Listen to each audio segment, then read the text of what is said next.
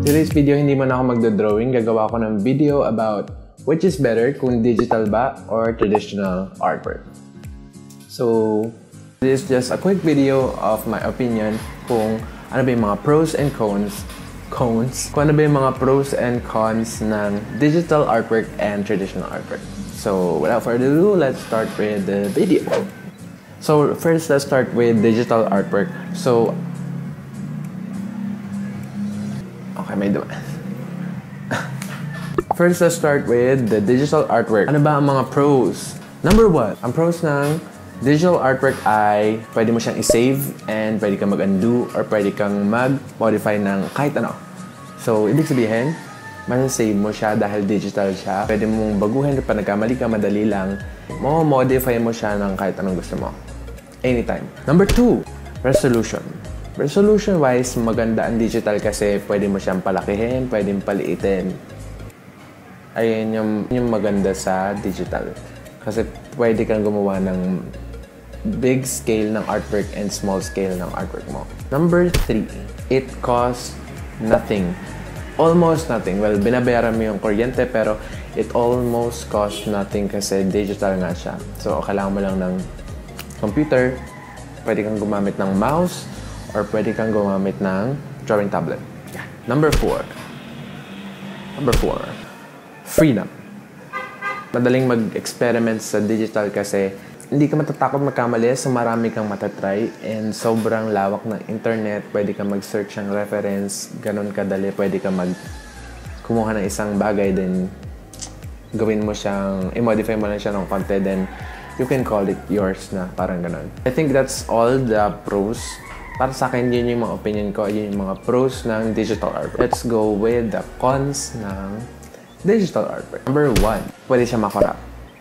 Hindi safe lagi ang file mo. So, anong kailangan gawin? Laging i-save. And also, gawa, gawa ka ng backup lagi.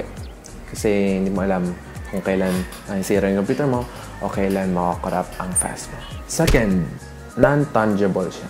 Ibig sabihin, hindi siya nahawakan. Yung feeling na pagkakita mo sa artwork, ah, digital siya. Parang hindi masyadong special kasi ako para sa akin gusto ko yung nahawakan yung artwork na feel mo siya. And yun yung kulang sa digital.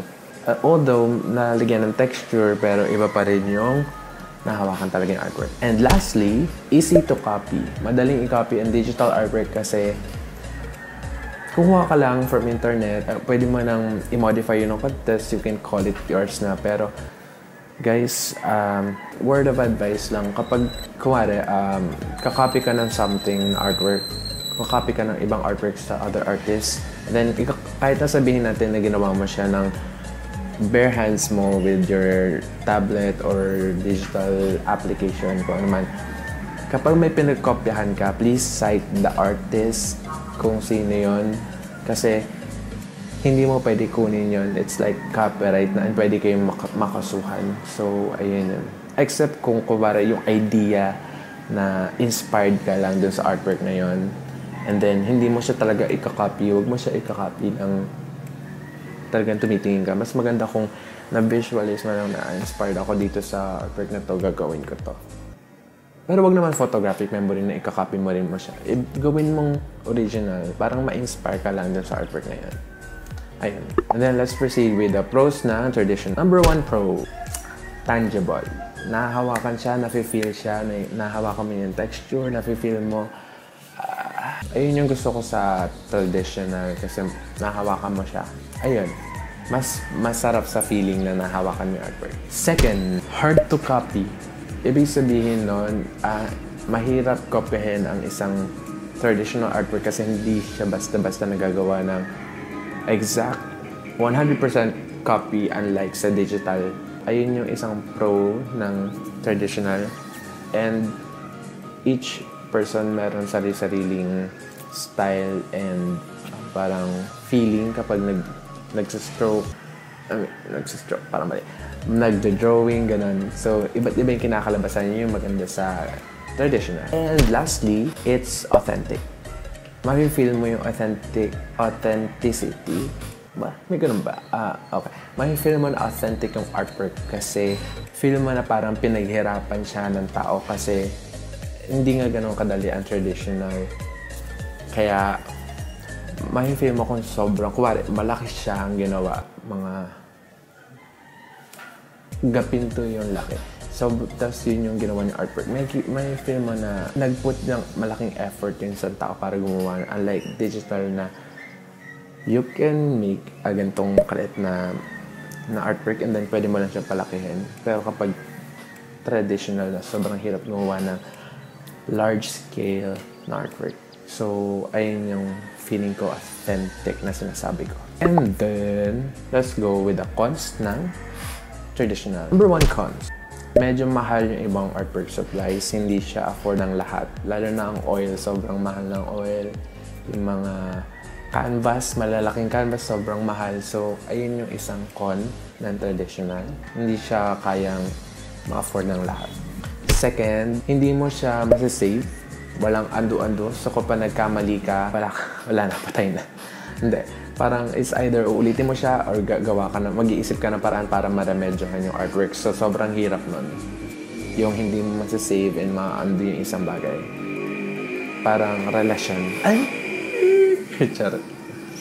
Kaya, kailangan maging careful tayo pag gumagawa ng traditional artwork. And then lastly, it's hard to store. Mahirap siyang itabi yung mga traditional artwork. So, i-compile mo siya, tapos dapat talagang secure yung paglalagyan mo kasi kumari o bumagyo gano'n, baka alunin yung artworks mo and yung mga malalaking canvas, hindi mo alam kung saan mo siya ilalagay. So, yun yung isang con na naisip ko. So, that's it guys. Yun lang yung mga naisip kong pros and cons sa traditional and digital artwork. Kung meron pa kayong ibang alam na pros and cons, just comment down below para makita rin ng iba kung ano ba yun. Kasi ayun lang yung ibang pros and cons na alam ko as of now, as of this video.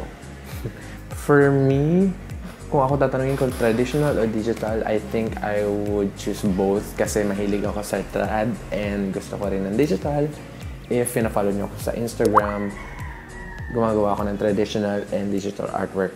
And palipat-lipat ako. But kung, kung talagang papiliin ako ng isa lang, tapos wala ng iba, siguro, kung meron lang akong gamit ah, siguro magta-traditional na lang ako kasi mas feel ko yung yun nga yung nakahawakan yung artwork and mas masarap mag mag mag-drawing kapag talagang ano traditional para sa akin lang.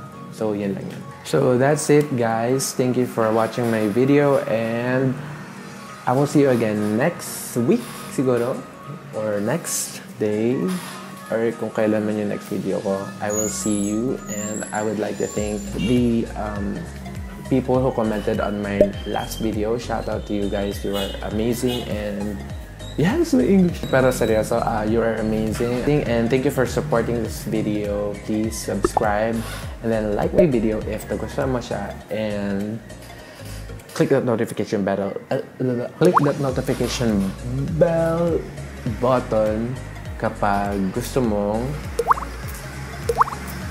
ma-notify every time I post a new video. Ayun.